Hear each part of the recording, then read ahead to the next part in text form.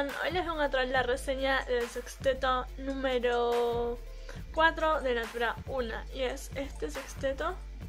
Yo ya les había hecho el anterior que era el color 5, así que se los dejo por la pantalla si lo van a ver. Y bueno, ahora les traigo la paleta de tonos neutros, digamos. Son estos tonos.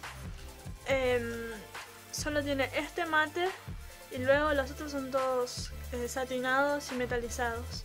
Este es metalizado, metalizado. Este es como satinado y este también. Luego eh, solo este es mate. Son estos tonos re lindos. Utilicé todos los tonos de la paleta para hacer este look que al final del video lo van a ver. Eh, son estos colores muy lindos. Tiene un dorado, un tipo un bronce dos marrones, este marrón mate y este marrón es como brillo, es un marrón más clarito igual. Este es como un rosita y este es un tono vainilla. Eh, les voy a comenzar a hacer los swatches. Estos son estos primeros tres tonos de acá.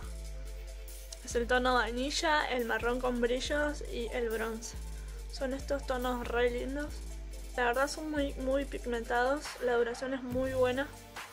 Estos son los otros tres tonos que faltaban, el doradito, el rosita y el marrón mate. Con el marrón mate eh, me hice las cejas. Y bueno, son estos tonos. El, doradito es muy lindo, son eh, muy sedosas las sombras. Vienen en sus respectivas cajitas doradas de Natura 1, es esta.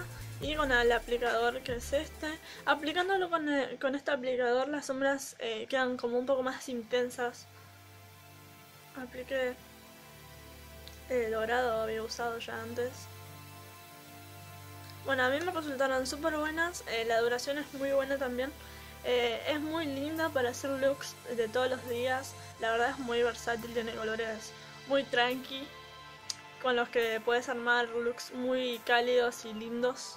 Y si quieren saber, el esmalte que tengo puesto es este y es el tono púrpura glamuroso de los silkies de violeta.